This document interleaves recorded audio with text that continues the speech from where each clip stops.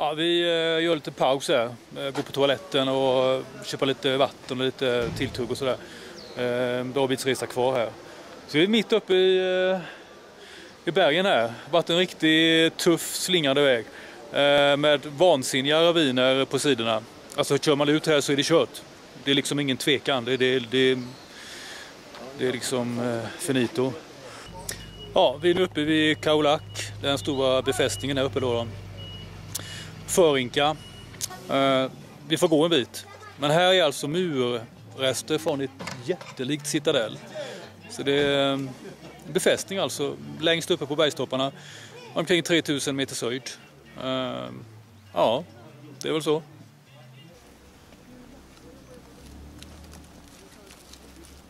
You have some water, you wanna buy some biscuits? Det kan inte vara någon fara med att liksom andas häftigt och sådär för att få i sig mer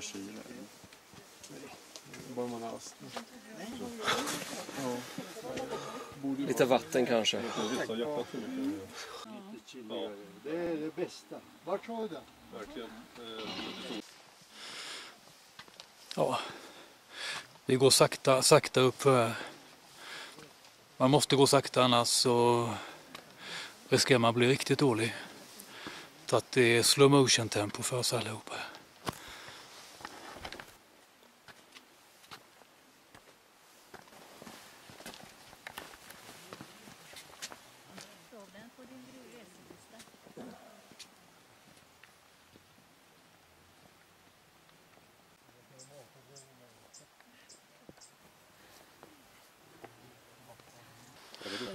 Ja, vi har kommit fram nu. Nu eh, står vi framför eh, murverket.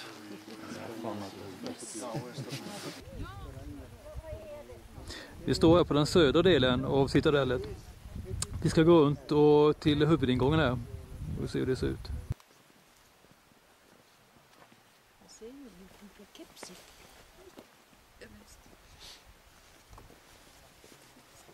Here is like a map of the site. It is a shape it has. We are here more or less, this point, and uh, that's the shape, and those represent the three gates. Two gates to, to the to the east, where we are now, and one to the west. The main, the second, and the third. Okay. And those round structures represent the more than 460 round houses in total inside the site. Ja, vi ska väl nu gå in tror jag. Eh, de hade en huvudingång och den var ju inte speciellt bred men det skulle vara det lättare att försvara naturligtvis. That's also new about uh, plants, for example. And one something very common in the, in the culture, Spring and Inca, is shamanism. Ja, vi står och väntar eh, på att alla ska samlas här. Eh, så kanske det blir en ny föredragning. Jag hoppas inte det, för de är väldigt långa de här föredragningarna. Lite väl långa skulle jag vilja påstå. Eh, lite information matnyttigt får vi dock fort. De har hittat gravar här. De började gräva ut det på 1800-talet först. När spanjorerna kom hit så kände de till det här. De fick reda på det, de var väl här då, eller var, de var här rättare sagt. Eh, men de gjorde inga utgrävningar så vitt vi känt till. Eh, så de har grävt ut gravar eh, och det intressanta är att bland de gravarna så hittar de folk som hade ljust hår, ganska långa människor.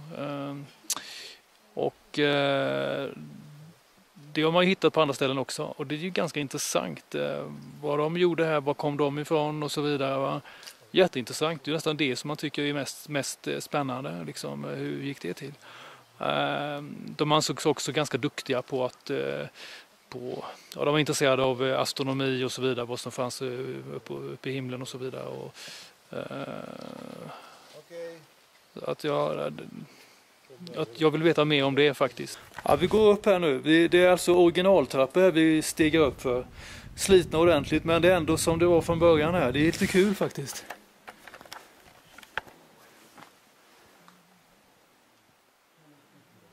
Ja, nu har vi kommit upp på själva citadellet här. Och det består också i sin tur av inre murar eh, på olika nivåer här. Så att eh, har man väl forcerat de yttre murarna så, eh, så stod man inför ytterligare en murnivå då. då. Den kan man se upp igenom här då. då.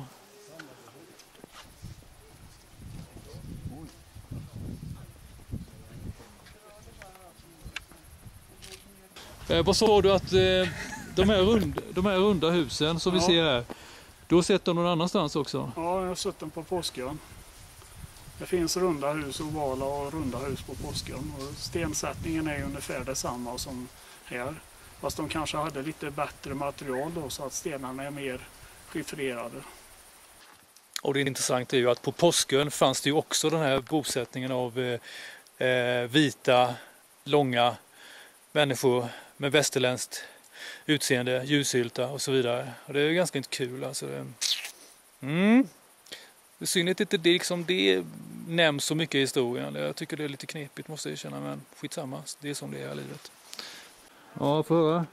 Det är ju de här äh, murarna. Innanför så döljer det sig ungefär som du tänker dig ringbu, ringmuren i Visby.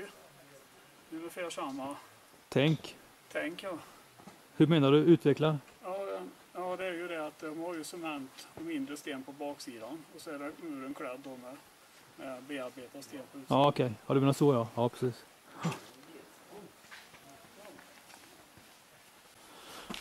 Ja, nu går vi in i den, inre anläggningen och då har vi ytterligare en nålsöga, ett passage. Det var naturligtvis också likadant här då för att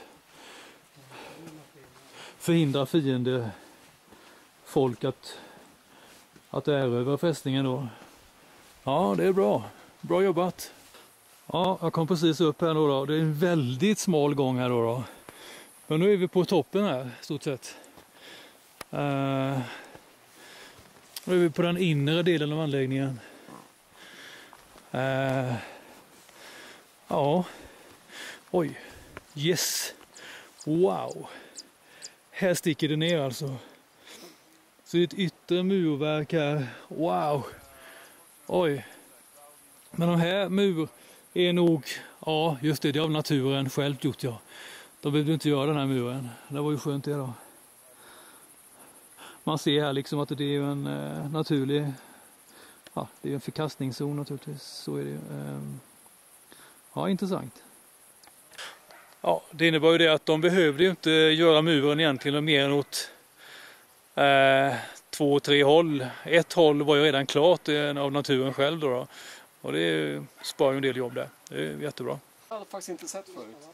Båda åt samma håll.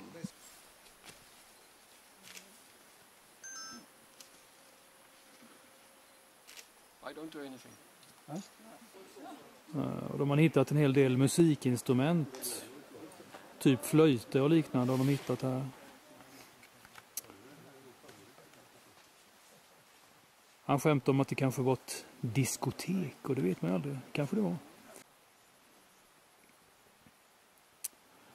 Like a sleeve, that's a place for the guinea pig. They used to breed them inside those holes. This is the batan, the flat, the flat stone. Allihopa. Ja, just det. Nej, men han vet. Det är motsatta. Ja, väldigt. Uh, it's clearly seen that uh, the ones who built uh, the monument had knowledge of mathematics and also physics, of course. Jag ser monumentet eh, precis rakt fram som lutar utåt och det har en speciell form kan man säga. Eh, eh, Jag tror det var någon form av observatorium. Eh, Det finns alltså ingen ingång på det. Och eh, man får kliva upp och på ovansidan så finns det en, eh, ett hål eh, rakt ner, ungefär ett flaskformat hål. Eh, Och går man ner där så, skulle man, så fanns det alltså en oerhörd mängd av olika krukor från väldigt många olika håll från eh, olika delar av eh, Peru. Från olika folkslag. Så det verkar som att de tror att de har offrat och kommit hit med offergåvor för att det var någon slags helig plats det här. På något vis. Man ska i alla fall eh, visa sin, eh, sin, sin eh, ödmjukhet och så. Eh, Så det fanns jättemycket där och man vet ju inte riktigt hur man kom upp. Det fanns, inga, fanns inga trappor eller någonting eh, och det fanns inte nu heller. Eh, Han spekulerar guiden i att det finns en eh, underjordisk förbindelse som man kom in på något vis. Men, eh, man vet inte. Och det, man ska ju fortsätta att gräva ut det här området men eh, just nu så står det still på grund av eh, man saknar medel för det. Så är det. Nu är vi färdiga här så nu ska vi gå tillbaka igen. Och då gör vi det genom huvudingången.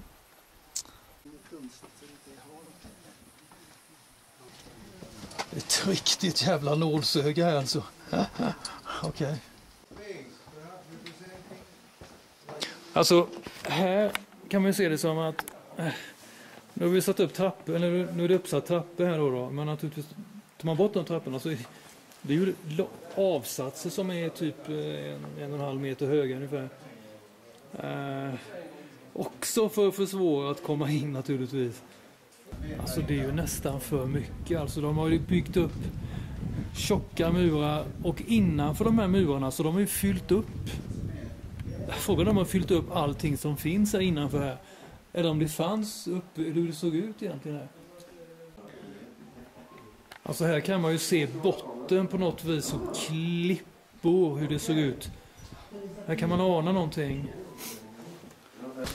Här ser vi ju ursprungsklippan som tänjer sig upp.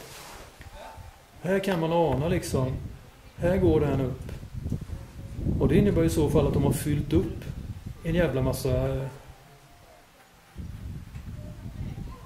fylle alltså. De har fyllt upp ovanför innanför murarna. Helt fantastiskt.